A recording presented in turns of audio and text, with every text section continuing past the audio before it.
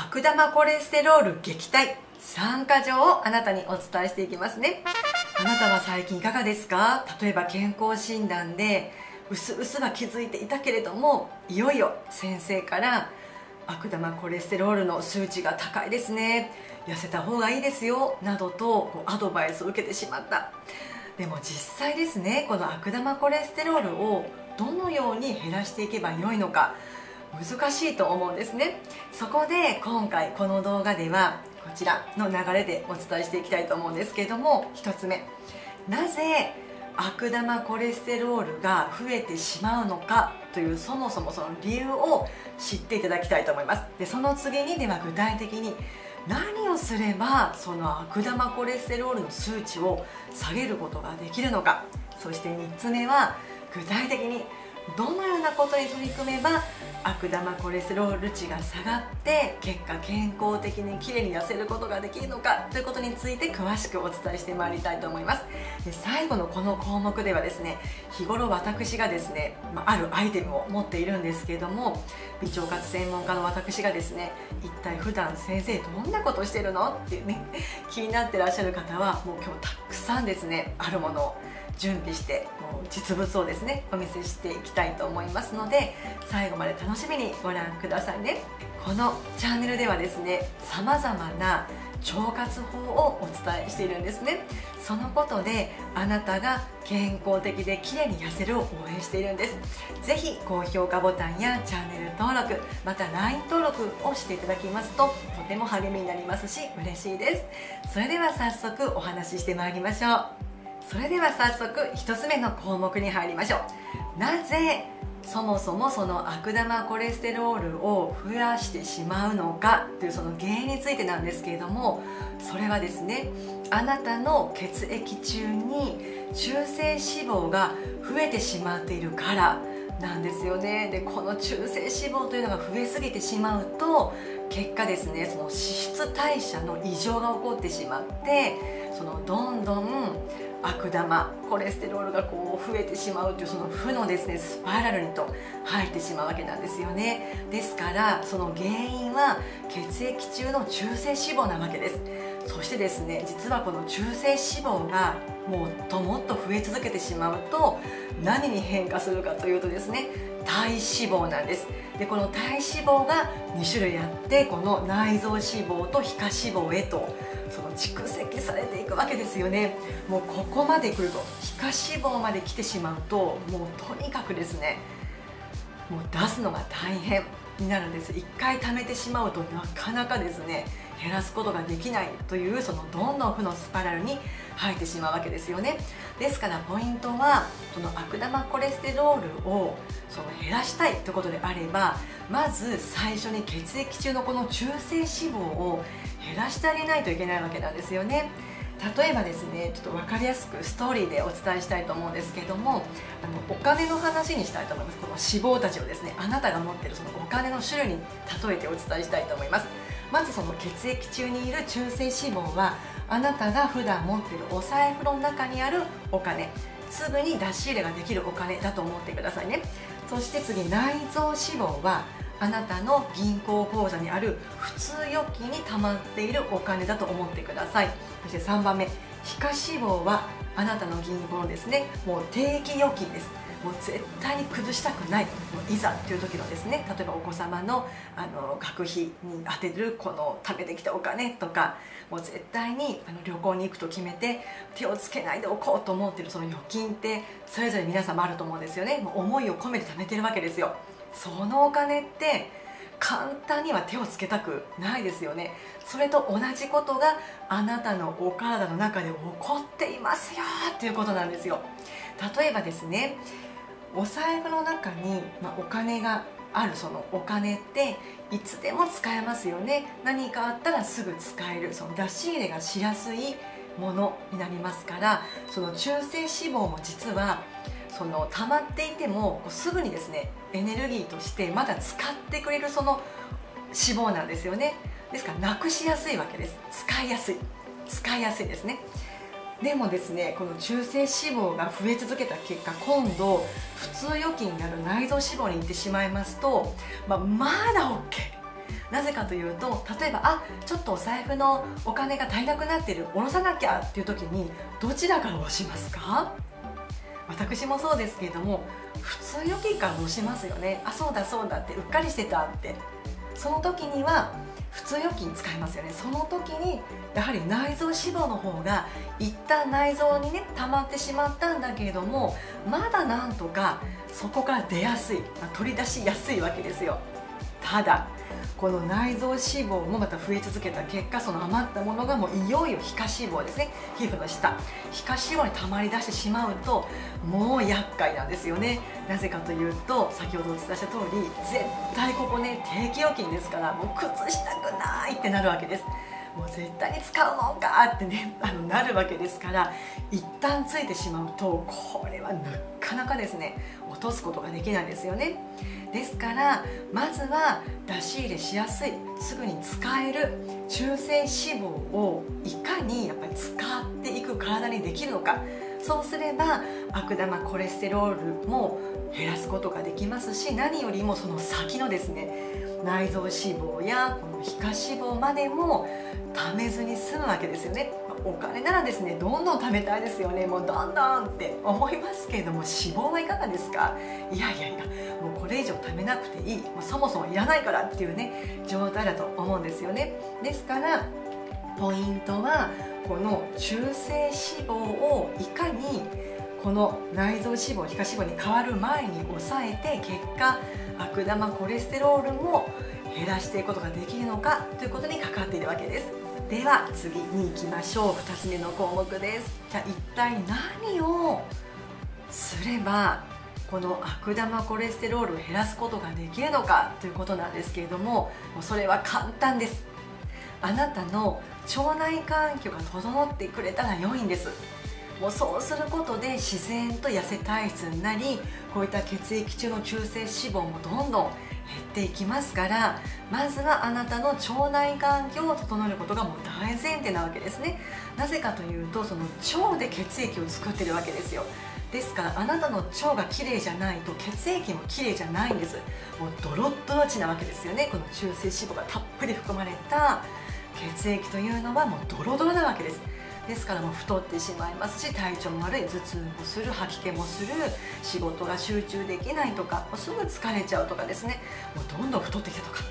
病気をするとか、まあ、そういったことに全てつながるのがやはり腸内環境なわけです。ですからポイントはいかにあなたの腸内環境を整えて結果血液をサラッサラのものに作る力をつけるかどうかということにかかっているんですよ。はいそれでは次に移ってまいりましょう。3つ目の項目です。どのように取り組めば悪玉コレステロールを抑えることができるのかということで今回はその3か条お伝えしますということにあの冒頭でお伝えしておりましたからその3か条をまずお伝えしていきたいと思います。3か条その1です食物繊維を取りましょうです。2つ目は植物性のタンパク質を取りましょうになります。そして3か条の3つ目は魚介類です。DHA や EPA といったオメガ系の良質のオイルを取ってください。ということになります。でこのように言われたらでも具体的に一体何をどんな風に食べればいいのかなっていうことだになってしまうと思うんですよね。そこで今回私が日頃美味しく美味しくですね食べている食材を実際にこの場にお持ちしておりますのであなたにもご紹介していきたいと思います。で今からご紹介するこの食材はですねもちろん別動画でもお伝えしてるんですよ、まあ、そのまあ総集編といいますかねまとめたバージョンでお伝えしていきたいと思います。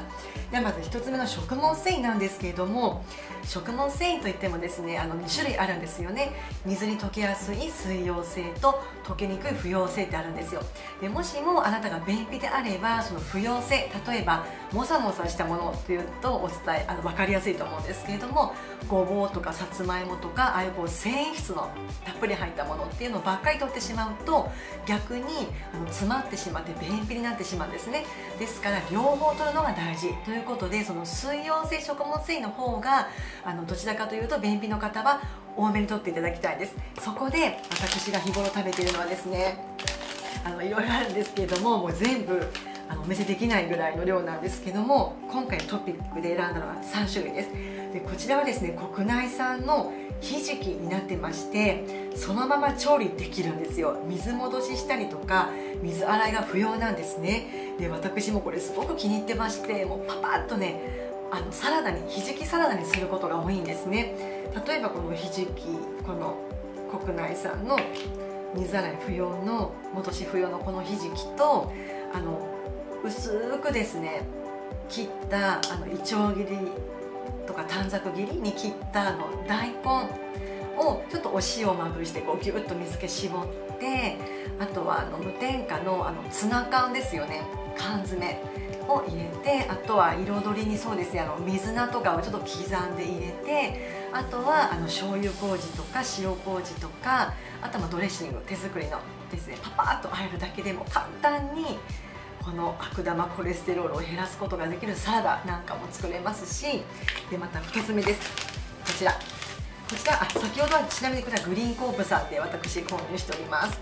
でこちらは生協です。コープですよね。国産素材の海藻サラダです。でこちらやはり水で戻さないといけないんですがもうたった5分で戻りますか。らもう全然手間じゃありませんよね。でも私このままあのレモンスライスとかミニトマトとかあとはあのサニーレタスとかあのベビーリーフとかですね。ああいったその生野菜をもパパパッと混ぜて手作りドレッシングでよく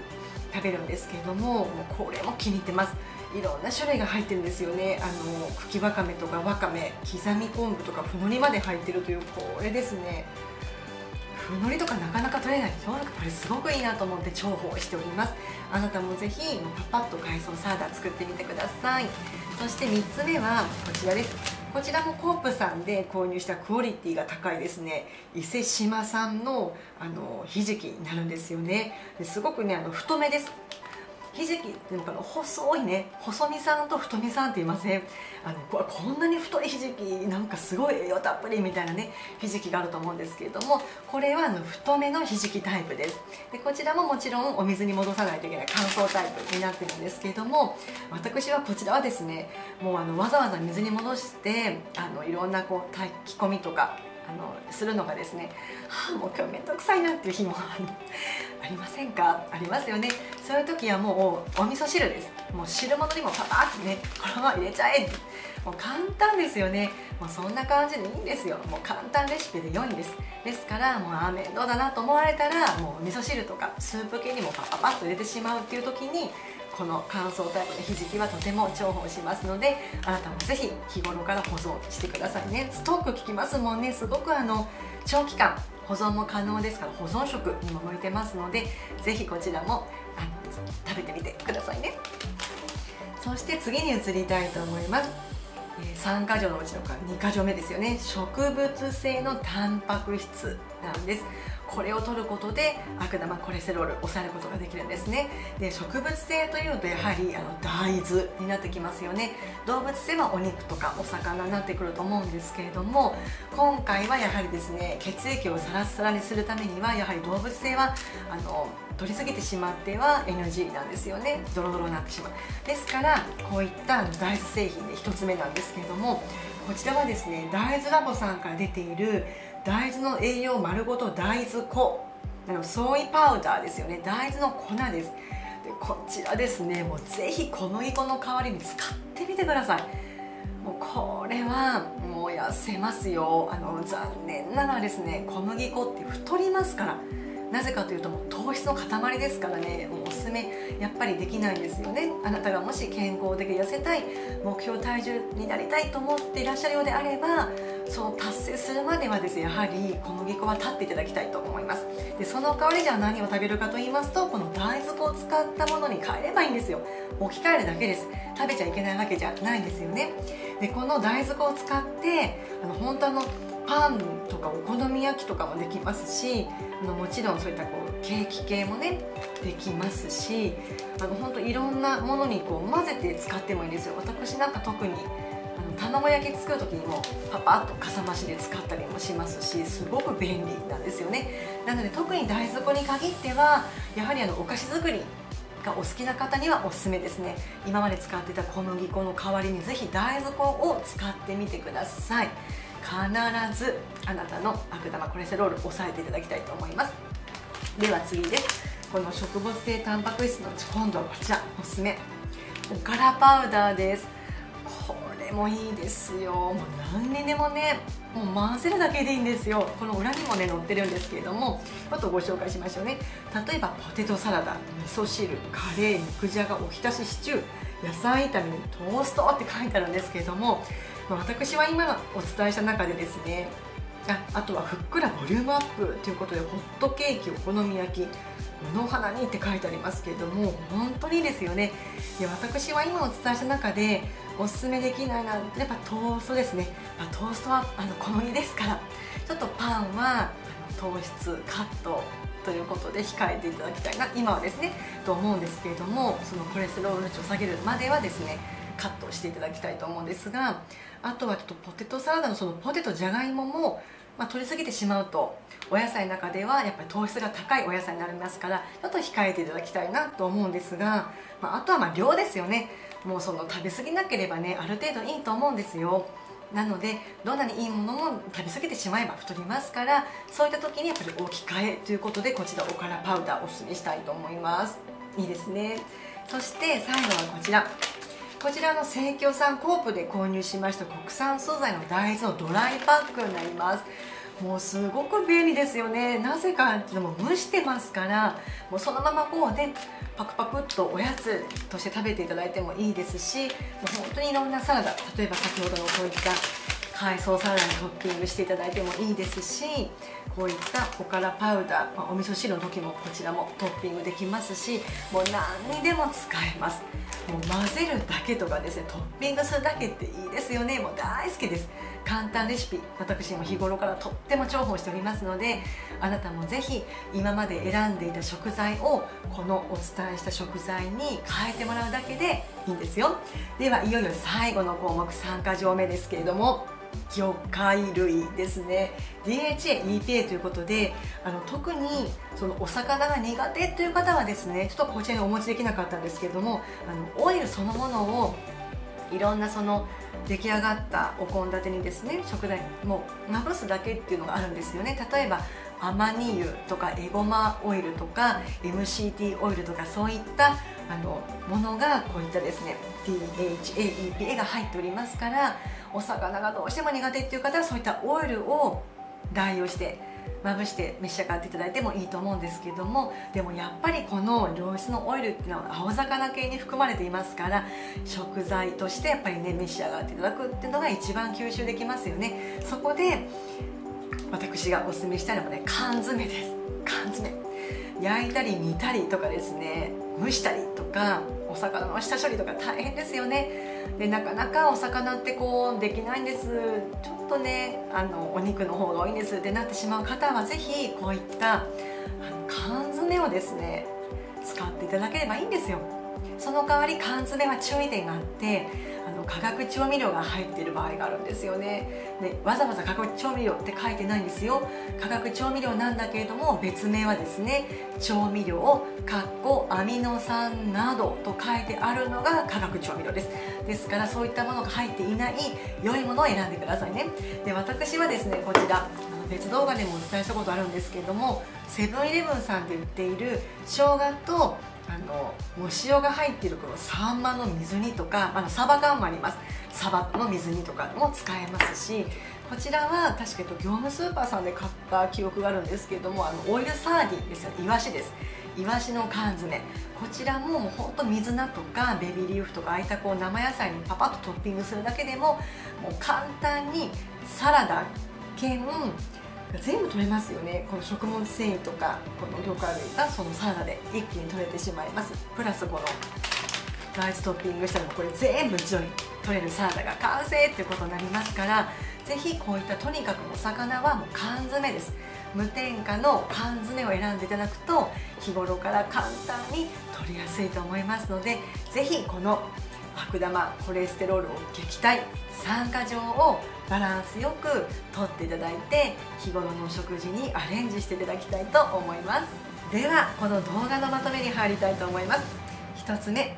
なぜ悪玉コレステロールが増えてしまうのかでしたね。その理由はあなたの血液中に中性脂肪がどんどん増えてしまっているからでしたね。それがどんどんひどくなっていくと結果体脂肪までとなってしまう。お金のお話で例え話を聞いていただきました。そして2つ目です。じゃあ何を